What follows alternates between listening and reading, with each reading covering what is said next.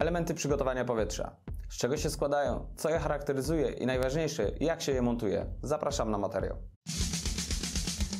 Przepływ mierzony w określonych warunkach. Manometr zamontowany jest przez producenta. Tak wygląda gotowy zestaw. Witam, nazywam się Mróz Michał. Dzisiaj zajmiemy się pneumatyką, a dokładniej elementami przygotowania powietrza. Aby wykorzystać sprężone powietrze, musimy je najpierw oczyścić, określić jego ciśnienie oraz w niektórych przypadkach wprowadzić czynnik smarujący. Dlatego dzisiaj pokażę cztery serie, każda składająca się z filtru reduktora, ze smarownicy, z manometru i z kątownika mocującego. Pierwszym układem, który pokażę, będzie układ serii BIT. Aby poprawnie przeprowadzić montaż, w pierwszej kolejności sprawdzamy uszczelnienia między elementami. Następnie mocujemy płytki montażowe w szczelinach konstrukcyjnych filtru reduktora. Upewniamy się, że kierunek przepływu jest zgodny z kierunkiem oznaczonym na obudowie. W otwory znajdujące się w smarownicy umieszczamy śruby montażowe i z zachowaniem szczególnej ostrożności dokręcamy. Seria bit charakteryzuje się przepływem między 200 a 1200 normalnych litrów na minutę. Normalny litr na minutę to nic innego jak pomiar dokonany w określonych warunkach. W tym wypadku pomiar dokonany jest w temperaturze otoczenia równej 20 stopni Celsjusza i ciśnieniu otoczenia równym 1 bara. Zakres średnic zmieści się między 1,8 a 1,4 cala, a maksymalne ciśnienie zasilające wynosi 13 bar. Manometr wkręcamy w dodatkowe przyłącze ręcznie, nie używamy klucza. Dla uzyskania szczelności i poprawnego ustawienia manometru stosujemy uszczelniacz w płynie. Aby zamontować kątownik mocujący, w pierwszej kolejności odkręcamy nakrętkę kontrującą, umieszczamy kątownik i dokręcamy nakrętkę.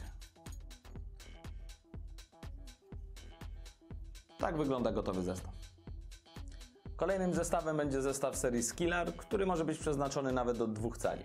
W pierwszej kolejności sprawdzamy uszczelnienia pomiędzy elementami.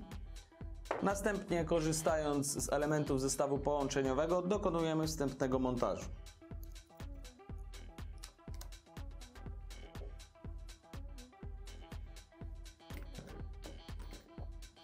Upewniając się, że zachowujemy wyznaczony na obudowie kierunek przepływu, skręcamy całość i zakładamy zaślepki.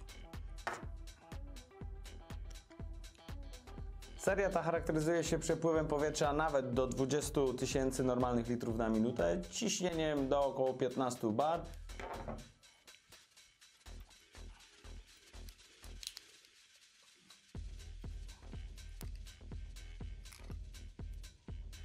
Kolejnym etapie montujemy zestaw płyt końcowych.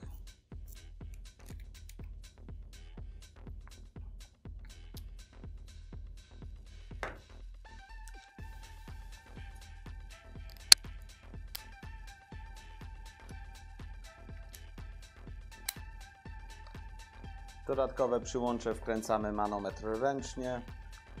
Dla uzyskania szczelności i poprawnego ustawienia manometru stosujemy uszczelniacz w płynie. Na koniec zostaje zamontowanie kątownika mocującego. Ściągamy pokrętło regulacyjne, odkręcamy nakrętkę kontrującą, zakładamy kątownik, dokręcamy nakrętkę, zakładamy pokrętło. Tak wygląda gotowy zestaw. Kolejny z dzisiejszych układów to układ serii syntezy. W pierwszej kolejności sprawdzamy uszczelnienia na elemencie łącznika. Następnie mocujemy go w filtr reduktorze.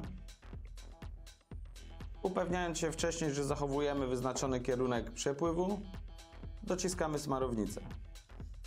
Wykorzystując cztery śruby, skręcamy całość.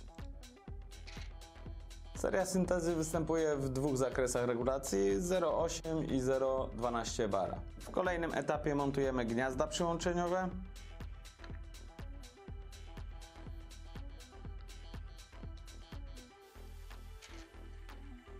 Manometr wkręcamy ręcznie, wykorzystując uszczelniacz w płynie. Aby zamontować kątownik mocujący, odkręcamy nakrętkę kontrującą, zakładamy kątownik i dokręcamy nakrętkę. Tak wygląda gotowy zestaw. I ostatnią omawianą dzisiaj serią, serię AirTag. W pierwszej kolejności sprawdzamy uszczelnienie w elemencie łącznika. Zwracając uwagę na kierunek przepływu, montujemy elementy ze sobą.